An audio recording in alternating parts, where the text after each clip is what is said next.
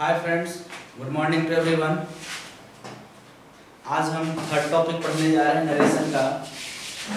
This is a third lecture video of narration third topic आपका है change of other parts of speech change of other parts of speech ये narration का third topic है general rule का last topic को कह सकते हैं। इसमें बेसिकली दो तीन चीज़ों को ध्यान रखना है। फ़र्स्ट इज़ वन हम इसमें देखते हैं क्या कि इसमें हम क्या डायरेक्ट से इनडायरेक्ट में कन्वर्ट कर सकते हैं। तो फ़र्स्ट यहाँ पे लिखते हैं डायरेक्ट स्पीच इनडायरेक्ट स्पीच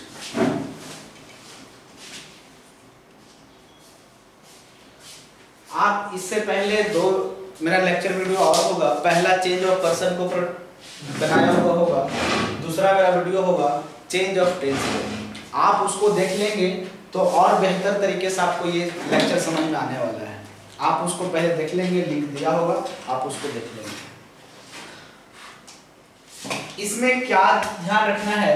अगर आपको किसी सेंटेंस में, अगर आपको किसी सेंटेंस में दिस मिलता है तो you have to change it into that किसी सेंटेंस में दिस मिलता है तो आपको चेंज करना है दोज में। Now you to change it in them ago before here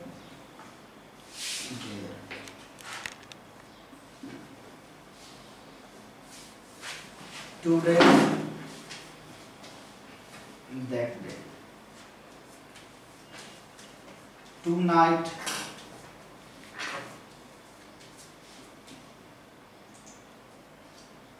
that night. Yesterday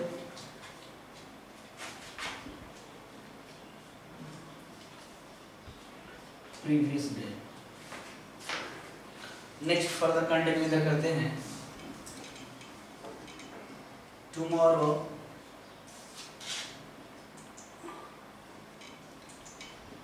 the next day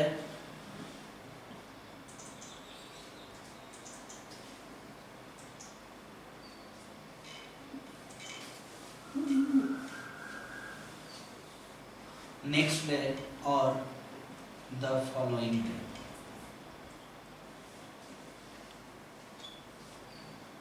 कुछ लोग इसको ऑन द मोरो में भी चेंज करते हैं। इन तीनों का मतलब ये है, आने वाला कल। यस्टरडे का मतलब बीता हुआ कल। नेक्स्ट डे बिफोर यस्टरडे अगर डायरेक्ट स्पीच में होगा तो इसको इनडायरेक्ट में कैसे चेंज करेंगे? यहाँ लिखेंगे इन टू डेज़ टाइम अगर डे आफ्टर टुमारो होगा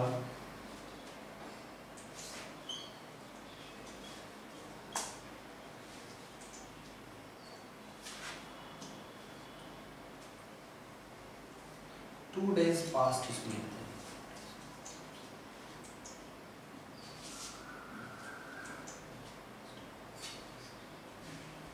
इसको लिखते हैं two days before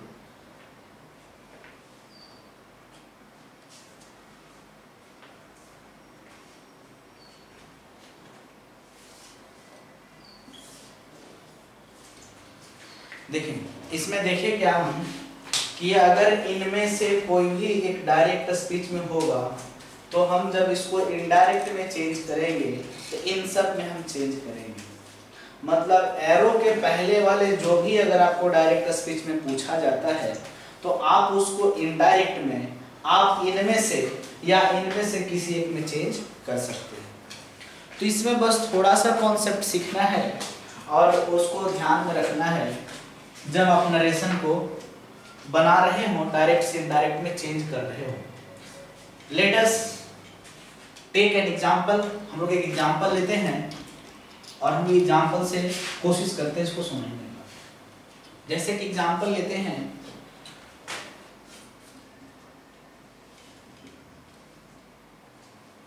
direct speech में my father said to me you will go to school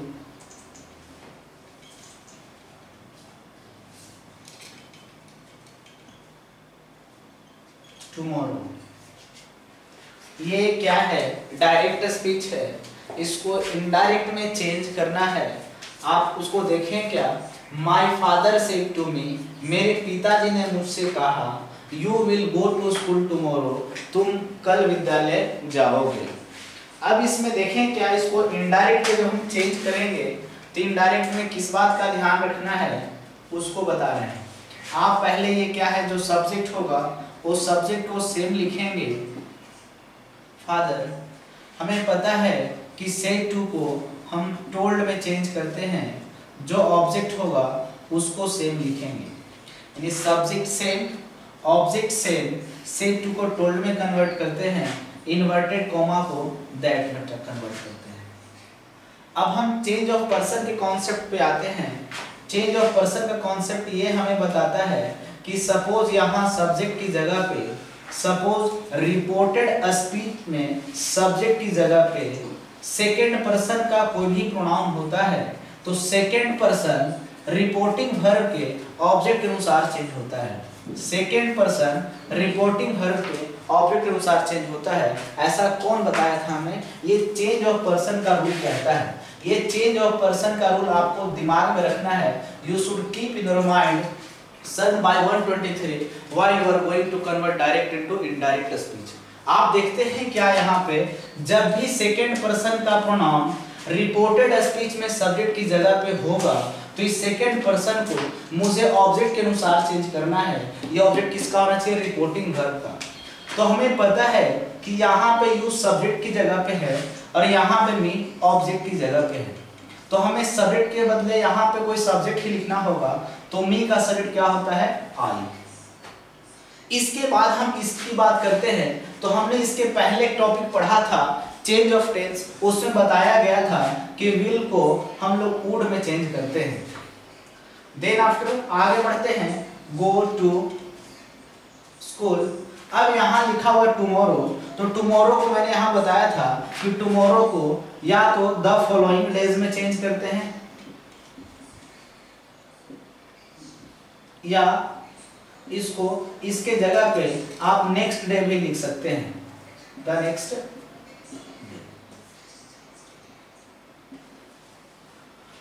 मतलब इसको दोबारा हम बताते हैं, जो सब्जेक्ट होगा उसको सेम लिखेंगे, जो ऑब्जेक्ट होगा सेम लिखेंगे सेट टू को टोल्ड में कन्वर्ट करेंगे। यहाँ से यहाँ तक कोई प्रॉब्लम नहीं होगा। हम आगे बढ़ते हैं। यहाँ पे इन्वर्टेड कोमा है। Inverted comma we will convert into that that में चेंज करेंगे. सेकंड पर्सन ऑब्जेक्ट के अनुसार, ये सब्जेक्ट है बट ये ऑब्जेक्ट है we put subject at the place of subject हमें सब्जेक्ट ही इसकी जगह पुट करना होगा. तो मी का सब्जेक्ट आई होता है विल को वुड में चेंज करते हैं. गो टू स्कूल टुमारो को हम किसमें चेंज करेंगे?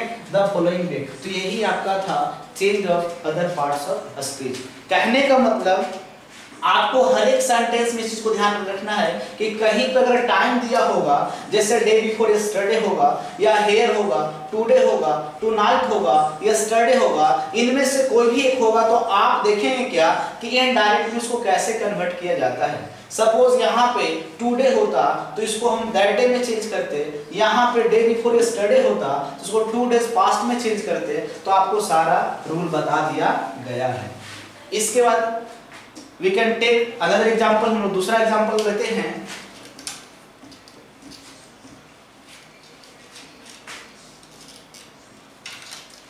Second example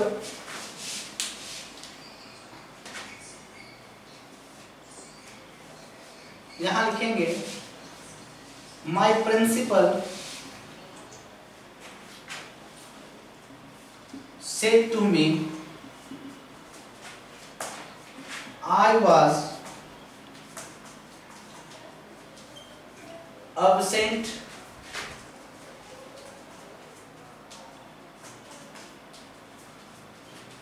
I was absent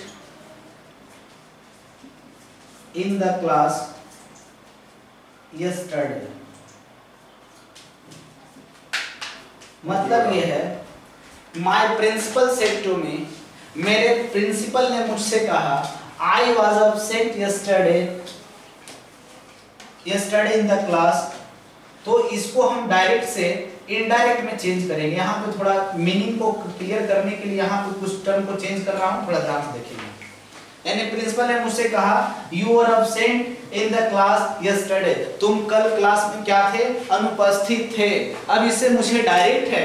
indirect में चेंज करना है। तो इसमें फॉलोइंग टर्म को याद रखना है।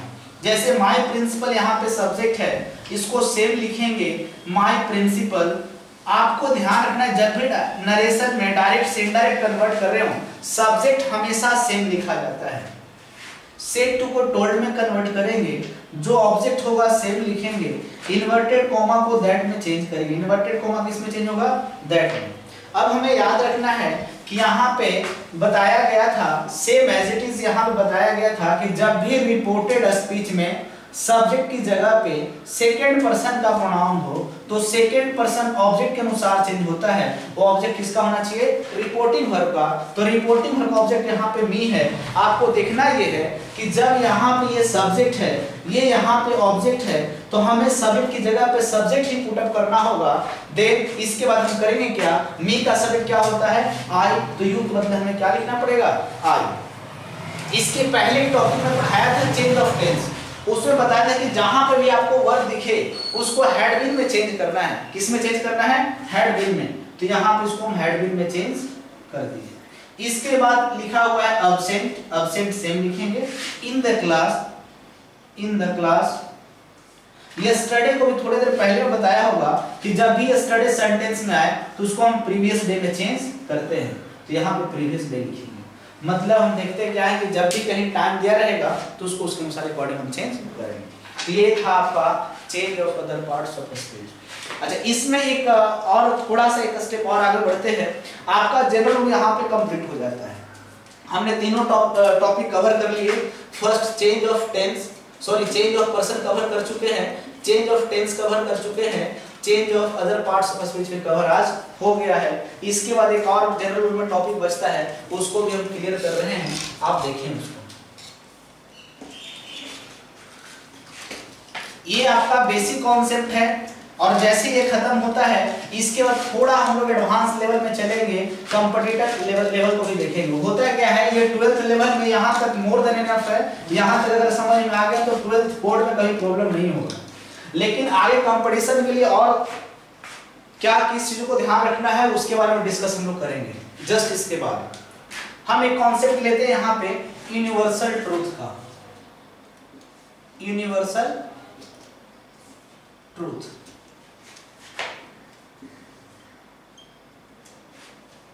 यूनिवर्सल ट्रूथ इसका मतलब क्या है?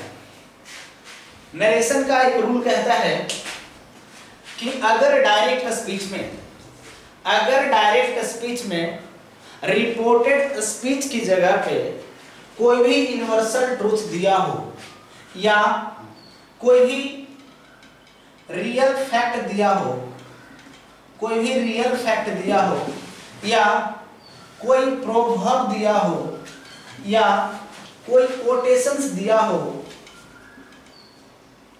या कोई आइडियम्स दिया हो या कोई भी प्रिंसिपल दिया हो, कोई भी प्रिंसिपल दिया हो तो हम उसे इनडायरेक्ट में चेंज नहीं करते हैं सेम एज इट इज़ लिखते हैं। दोबारा देखें। अगर किसी डायरेक्ट स्पीच में रिपोर्टेड स्पीच की जगह पे यूनिवर्सल ट्रूथ दिया हो या रियल फैक्ट दिया हो, या प्रोवर्ब दिया हो, या कोटेशन दिया हो, इनमें से कुछ भी दिया हो तो आप उसको इनडायरेक्ट में चेंज नहीं करेंगे। हम सब का मतलब बताते हैं यूनिवर्सल ट्रूथ का मतलब होता है, शुद्ध हिंदी में इसको बोलते हैं विश्व व्यापक सच। जैसे अगर हमें पता है कि टू और टू मेक्स फोर दो और दो चार होता है तो हम यहाँ इंडिया में बोलते हैं दो और दो चार और अमेरिका में भी दो और दो चार बोलते हैं। कहने का मतलब क्या है? सच है जो पूरी दुनिया जानती है। रियल फैक्ट रियल फैक्ट क्या है?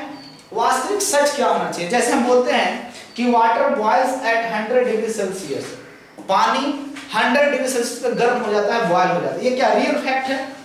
आगे बढ़ते हैं प्रोभर प्रोभर का मतलब कहावतें होता है। कहावतें क्या? जैसे आप सुने होंगे, गाँव घर में सुनते हैं, जले पे नमक छिड़कना। मतलब क्या? Add salt to the injury या आग में घी डालना। Add fire to the fuel या add fuel to the fire होता से कोटेशंस कोटेशंस का मतलब जैसे आप सुनते होंगे, आस्तीन का सांप है ना? Snake in the grass. या हम ऐसे बोलते हैं, कोई भी प्रिंसिपल सिद्धांत कुछ भी इनमें से कुछ भी आ जाए, उसको हम डायरेक्ट से इनडायरेक्ट में चेंज करते वक्त सेम लिखते हैं, उसको चेंज हम नहीं करते। जैसे for let us take an example एक एग्जांपल लेते हैं, और उससे कोशिश करते हैं समझने का। एग्जांपल ये है अगर ऐसे लिखे my principal said to me, man is mortal मेरे प्रिंसिपल ने कहा मैन इज़ मोर्टल मतलब मनुष्य मरणशील होता है, जन्म लेता है और मरता है। ये सच है बिल्कुल? तो इसमें आपको कुछ भी चेंज नहीं करना है। जैसे जो सब्जेक्ट होगा, हम सब्जेक्ट को सेम लिखेंगे। सब्जेक्ट को सेम लिखेंगे। सेक टू को हम टोल्ड में कन्वर्ट करेंगे। और मी से inverted comma that man is mortal इसको चेंज नहीं करेंगे। जैसा होगा वैसा लिख देंगे। मैन इज़ मोर्टल जैसा होगा जैसा इसको हम लिख देंगे। इसको चेंज नहीं करेंगे। तो यही होता है डायरेक्ट स्पीच में यूनिवर्सल ट्रूथ का कॉन्सेप्ट आगे फिर एक और एग्जांपल लेते हैं। अगर सपोज़ यहीं पे रहता सपोज़ यहीं पे रहता ऐसे all glittering things is not a gold अगर ऐसे रहता, हर चमकती हुई चीज़ सोना नहीं होता। ये क्या है रियल सच है? एक प्रिंसिपल एक सिद्धांत है। कि हर चमकती चीज़ सोना नहीं होता। तो इसको हम क्या करते? यहाँ से यहाँ तक को सेम लिख देते, यहाँ पे कुछ भी चेंज नहीं करते। यानी कि दैट के बाद हम इसको सेम लिख देते, कुछ भी चेंज नहीं करते। तो यही होता है रियल फैक्ट एक और एग्जांपल लेते हैं। सेकेंड एग्जांपल है। My father said to me my father said to me two and two makes four दो और दो चार होते हैं। मेरे पिताजी ने कहा, दो और दो चार होते हैं। जैसे यहाँ पे इसको मुझे क्या करना है? बनाना है। तो सब्जेक्ट यहाँ पे क्या है? माय फादर से टू को टोल्ड में ऑब्जेक्ट क्या है? सेम इन्वर्टेड कॉमा दैट और बाकी two and two makes four ये क्या है? कॉन्सेप्ट है, एक यूनिवर्सल ट्रूथ है रियल फैक्ट है कि इसको हर लोग जानते हैं इसमें कुछ भी चेंजिंग नहीं होगा।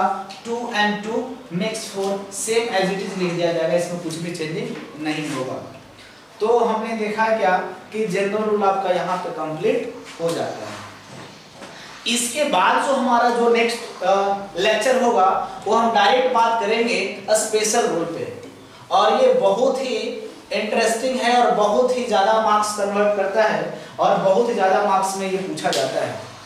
नरेशन का ये अभी तक जो यहाँ तक हम पढ़े, इसको बोलते हैं बेसिक कॉन्सेप्ट ऑफ़ नरेशन लेकिन जो इसके बाद हम पढ़ेंगे इसको बोलते हैं स्पेशल रूल उससे लगभग प्रीवियस ईयर एग्जामिनेशन में प्रीवियस ईयर कंपटीशन एग्ज़ाम जिसका जितना भी क्वेश्चन पूछा जाता है, लगभग उसी से उसी कॉन्सेप्ट से मिलता जुलता है। तो हम उसको डिटेल में देखेंगे। नेक्स्ट क्लास में स्पेशल रूल ऑफ़ नरेशन क्या होता है, उसको डिटेल बारीकी से देखेंगे। हाँ इसके अंतर्गत जनरल जो हम लोग पढ़े तीन टॉपिक उसके अंतर्गत कोई भी डाउट हो, कोई भी समस्या हो, कोई प्रॉब्लम हो, आप निसंदेह हमारे कमेंट बॉक्स में कमेंट कर सकते हैं। मैं कोशिश करूँगा हर एक कमेंट का मैं आपको जवाब दे सकूँ, आपके डाउट का क्लियर कर सकूँ। तो मिलते हैं नेक्स्ट वीडियो में। Thanks for watching